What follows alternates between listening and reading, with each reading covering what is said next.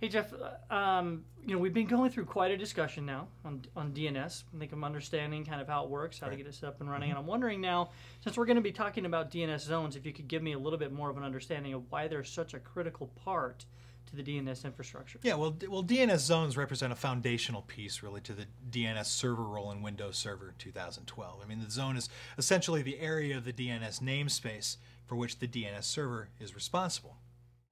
So, for this reason, one of the first steps of configuring the DNS server involves the creation of these zones.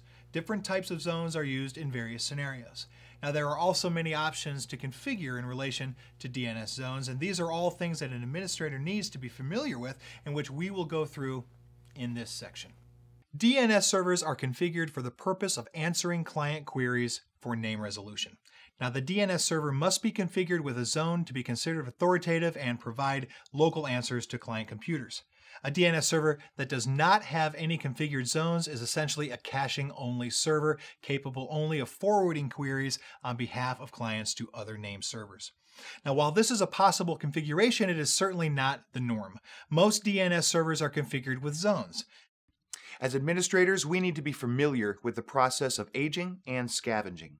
These processes are used to prevent stale records from accumulating, which can be the cause of numerous problems.